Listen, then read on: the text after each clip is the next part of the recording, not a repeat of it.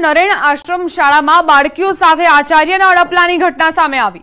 ત્યારે રાજ્યના આદિજાતિ મંત્રી અને માંડવીના ધારાસભ્ય કુંવરજી હળપતિએ આશ્રમ શાળાની મુલાકાત લીધી. મંત્રી કુંવરજી હળપતિએ આશ્રમ શાળાની બાળકીઓ સાથે પણ મુલાકાત કરી. સાથે જ શિક્ષિકા અસ્મિતાબેનને શાળાના ઇન્ચાર્જ આચાર્યની જવાબદારી સોંપી. મંત્રીએ અન્ય આશ્રમ શાળાની પણ મુલાકાત લીધી. આવી ઘટનાઓનું પુનરાવર્તન ન થાય તે માટે શિક્ષણ વિભાગે બી ટીમ બનાવી છે.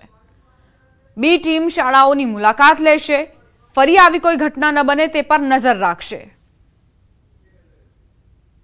આ વિસ્તારમાં જે ઘટના બની, એ ઘટનાને હું સખત શબ્દમાં વખોડી નાખું છું.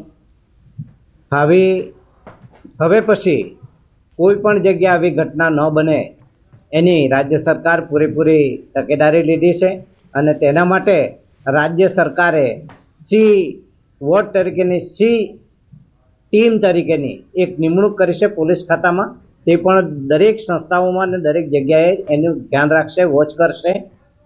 સમાચાર વધુ એક દુષ્કર્મની ઘટનાથી ખળભળાટ મચ્યો છે. વિધર્મીએ સગીરા સાથે દુષ્કર્મ આચર્યું. માંજલપુરમાં સાથે ગરબા રમવા વિધર્મી દબાણ કરતો. સગીરાની માતાએ ફરિયાદ નોંધાવી. પોલીસે આરોપી વાજી દશા દીવાનની ધરપકડ કરી છે.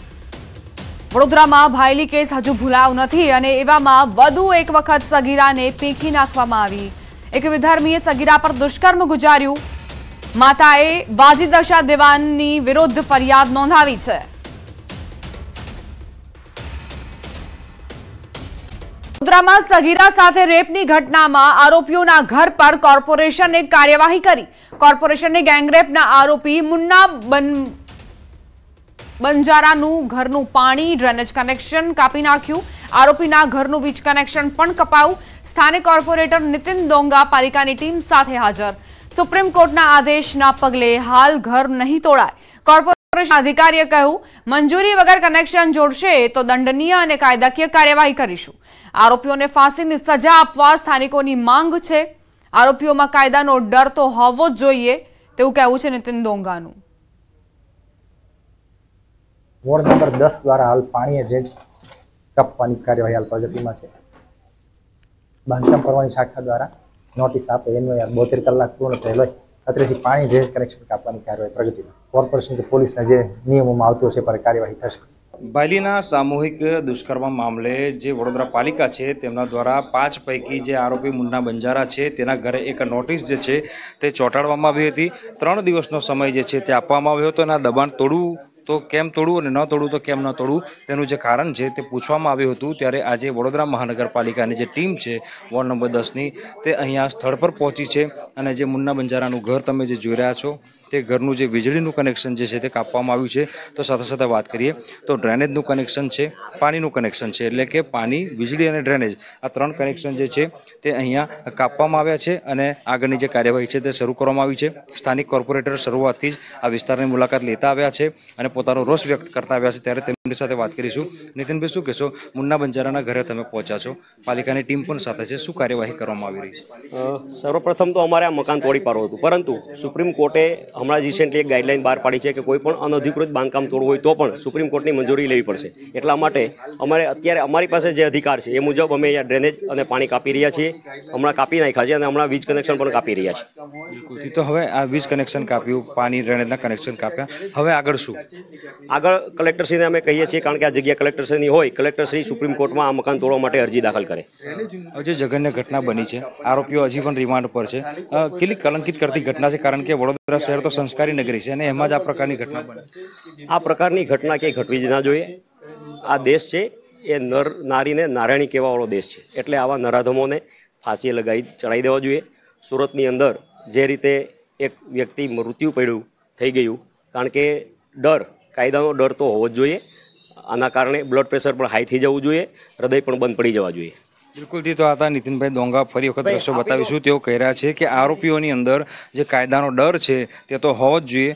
સુપ્રીમ કોર્ટની ગાઈડલાઇન છે એના કારણે જે પાલિકાના હાથ છે તે બંધાયેલા છે. પરંતુ જે પાલિકા દ્વારા જે મુન્ના બંજારા છે તેના ઘરનું જે વીજળીનું કનેક્શન છે તે કાપવામાં આવ્યું છે.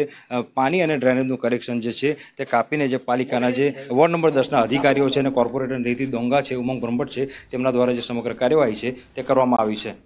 સરકારી સાયકલોના કૌભાંડનો આરોપ મુકાયો છે. સરકાર સરકારી સાયકલ હાટ બજારમાં વેચાતી હોવાનો વીડિયો કોંગ્રેસે જાહેર કર્યો. ભાવી જેતપુરના ભીખાપુરા ગામે બજારમાં પ્રવેશોત્સવ બાળકીઓને પ્રવેશોત્સવમાં બાળકીઓને આપવાની સાયકલો થોડા ફેરફાર કરી વેચાઈ રહી હોવાનો આરોપ મુકાયો. કોંગ્રેસ નેતા અર્જુન રાઠવાએ વીડિયો જાહેર કરી ગંભીર આરોપ મૂક્યા. આદિવાસી બાળકીઓને અપાતી સાયકલો પાછળ મોટું કૌભાંડ હોવાનો આરોપ મૂક્યો. હાઈસ્કૂલમાં, સ્કૂલમાં ભણતી છોકરીઓને સ્કૂલે જવા માટે આપવાની આ સાયકલો હતી. એ ભાજપ સરકારે પાછલા બે હજાર પંદર, સોળ, સત્તર, અઢાર, ઓગણીસ, વીસ, એકવીસ, બાવીસ, ત્રેવીસ આટલા વર્ષોથી પાછલા, આટલા લાંબા સમયથી આ સાયકલો છોકરીઓને આપવાની હતી. એ ન આપીને ક્યાંક છુપાવી રાખેલી હતી. અમે ઘણી બધી સાયકલો બહાર લાવ્યા. કેટલીક અમે બહાર નહીં લાવી શક્યા હશે એ પણ ક્યાંક પડી હશે. તો આ કૌભાંડ ખૂબ મોટું ચાલી રહ્યું છે. તેનું તમે જ ધ્યાન રાખજો. તહેવારો ટાણે રહી રહીને વડોદરાનું તંત્ર જાગ્યું. ફાફડા, જલેબી વિક્રેતાઓને ત્યાં આરોગ્ય વિભાગના દરોડા. મલ્હાર પોઈન્ટ નજીક હરસિદ્ધિ ફરસાણમાંથી સેમ્પલ લેવાયા. ફાફડા, જલેબીના રો મટીરિયલના સેમ્પલ લેવાયા. તમામ સેમ્પલ ચકાસણી માટે લેબમાં મોકલાશે. નિયમ મુજબ ચૌદ દિવસ બાદ રિપોર્ટ આવશે. જો કોઈ પદાર્થ અખાદ્ય જણાશે, તો ફૂડ સેફ્ટી એક્ટ મુજબ કાર્યવાહી કરાશે. ત્યારે સવાલ એ છે કે ચૌદ દિવસે રિપોર્ટ આવ્યા બાદ ખોરાક અખાદ્ય જણાય તો શું કામનું?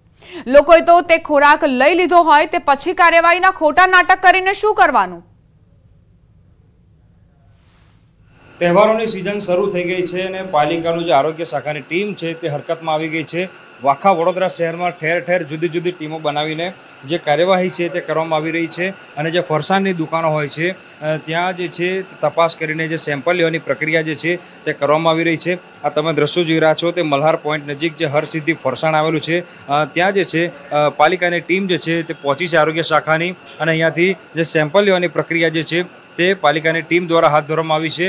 આ મલ્હાર પોઈન્ટના દ્રશ્યો છે અને અહીંયા આસપાસની જેટલી પણ દુકાનો છે, ત્યાં આ જ રીતે પાલિકા દ્વારા સર્ચ કરવામાં આવી રહ્યું છે.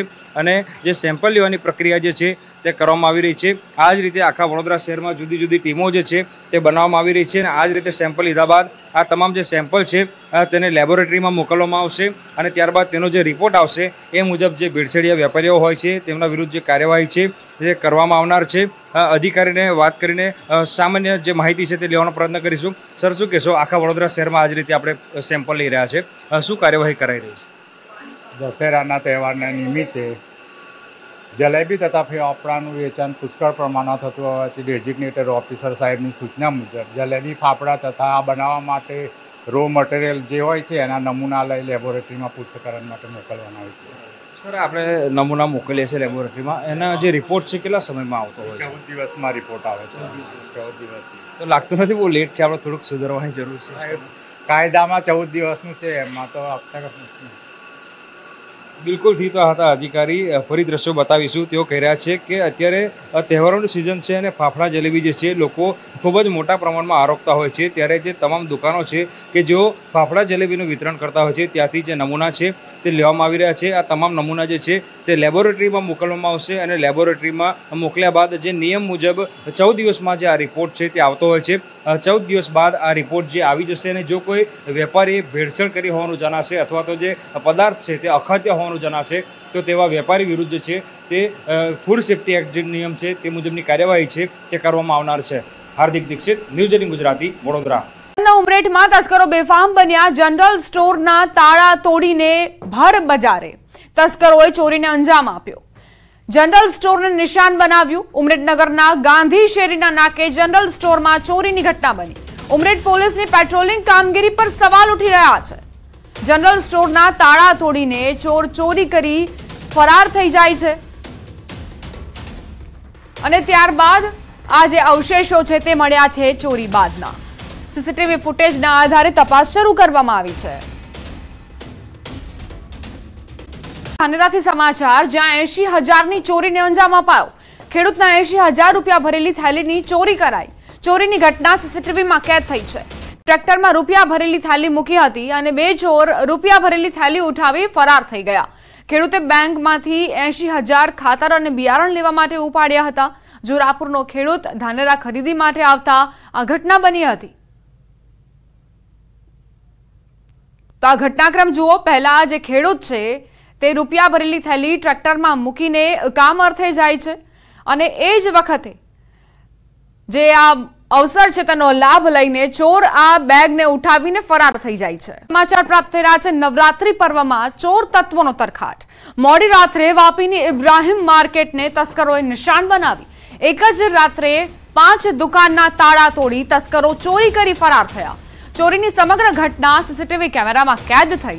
ચોર ઈસામોએ દુકાનોમાંથી બે સિત્તેર લાખ રૂપિયાના મુદ્દામાલની ચોરી થઈ હોવાનું વેપારીઓએ જણાવ્યું. વેપારીઓએ પોલીસના નાઇટ પેટ્રોલિંગ સામે પણ સવાલ ઉઠાવ્યા. પોલીસે સીસીટીવી ફૂટેજના આધારે આરોપીઓને પકડવા ચક્રો ગતિમાન કર્યા છે. સંવાદદાતા ભરત જોડાઈ ગયા છે વધુ જાણકારી સાથે. ભરત, મોડી રાત્રે આ રીતે દુકાનોમાં તાળા તૂટી રહ્યા છે એટલે આ જે ચોર છે તેમને કોઈ જ ડર નથી પોલીસનો પણ. જી, બિલકુલ. જે રીતે નવરાત્રીનો તહેવાર ચાલી રહ્યો છે, મોડી રાત સુધી પોલીસનું પેટ્રોલિંગ ચાલતું હોવાના દાવા કરવામાં આવે છે, પરંતુ તેમ છતાં હજુ શહેરના મધ્યમાં પણ તસ્કરો તરખાટ મચાવી રહ્યા છે. આ ઘટનાનો પુરાવો છે જેનો પુરાવો આ ઘટના છે, જ્યાં આગળ વાપીના મધ્યમાં આવેલી ઇબ્રાહીમ માર્કેટમાં એક તસ્કરે નિશાન બનાવીને ત્યારબાદ એક પછી એક પાંચ દુકાનોના તાળા તોડ્યા હતા, જેમાંથી બે દુકાનોમાં તેના હાથમાં કંઈ લાગ્યું ન હતું પરંતુ ત્રણ દુકાનોની અંદરથી બે પોઈન્ટ સિત્તેર લાખના અ, મુદ્દામાલની ચોરી કરી અને ત્યાંથી ફરાર થઈ ગયો. તો સીસીટીવી ફૂટેજ છે દર વેપારીએ એની સાથે સીસીટીવી ફૂટેજ સાથે પોલીસમાં રજૂઆત કરતા હવે વાપી ટાઉન પોલીસે પણ આ મામલે સીસીટીવી ફૂટેજના આધારે તપાસ હાથ ધરી છે. જોકે જે તો પોલીસના દાવા થઈ રહ્યા છે તેમ છતાં તસ્કરો હજુ પણ બેખોફ હોય તેમ લાગી રહ્યું છે. આભાર ભરત જાણકારી આપવા માટે. તો સીસીટીવીના આધારે પોલીસે તપાસ શરૂ કરી છે. આખરે આ ચોર ક્યાંથી આવ્યા? અને કઈ બાજુ ફરાર થયા છે તે તમામ દિશામાં તપાસ હાથ ધરવામાં આવી છે.